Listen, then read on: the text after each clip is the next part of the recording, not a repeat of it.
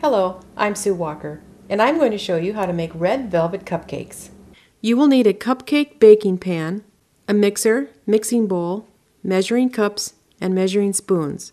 You will also need some cooking spray and some cupcake papers. The ingredients for the cake are 2 and 1 half cups of flour, 1 and 1 half cups of sugar, 3 tablespoons of unsweetened cocoa powder, 1 teaspoon of baking soda, 3 fourths teaspoon of salt, 1 and 1 4th cup of vegetable oil, 1 cup of buttermilk, a 1 ounce bottle of red food coloring, 2 eggs, 1 teaspoon of white vinegar, and 1 teaspoon of vanilla extract.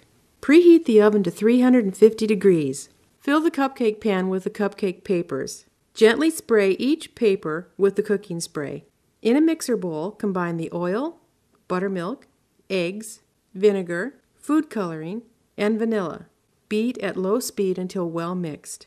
Combine the salt, flour, baking soda, sugar, and cocoa in a separate bowl. Add the flour mixture to the wet ingredients and mix together on medium until smooth. Pour the batter evenly into the cupcake papers. Place in the oven and bake for about 18 to 20 minutes. Take out of the oven and let cool. Frost with red velvet cream cheese frosting.